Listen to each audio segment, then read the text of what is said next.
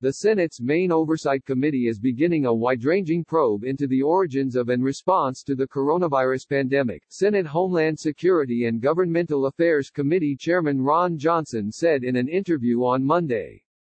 Johnson, R. Wiss, said his committee is going to conduct oversight on this thing in its entirety. He listed several elements of the probe, why the national stockpile wasn't better prepared, why pharmaceutical ingredients and medical devices are manufactured overseas, the World Health Organization's response to the virus and how the virus spread in the first place.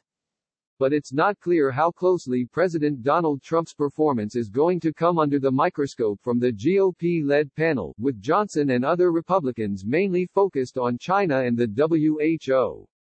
Where did this all start from? Was this transferred animal to human? Was this from a lab in China? Might have been the best of intentions trying to come up with the different cures, with the different therapies for the coronavirus in general, Johnson said, echoing some conservative theories. We need to know what role WHO might have had in trying to cover this thing up.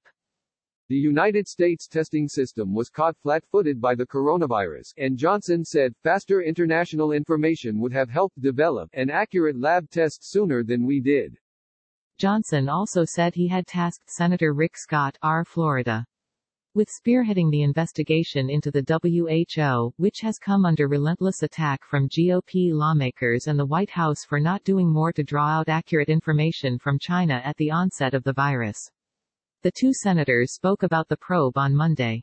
Scott is a noted China hawk and said in a separate interview that when it comes to the coronavirus, we can't trust communist China. We've learned we can't trust the WHO because they lie to us.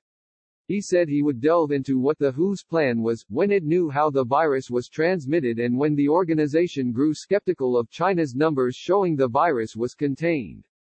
Let's create a new organization if this is important to us because it clearly didn't work, Scott said of the WHO.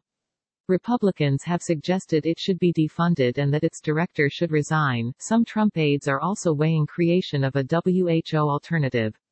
Director General Dr. Tedros Adhanom Ghebreyesus has said he believes the U.S. will continue its funding.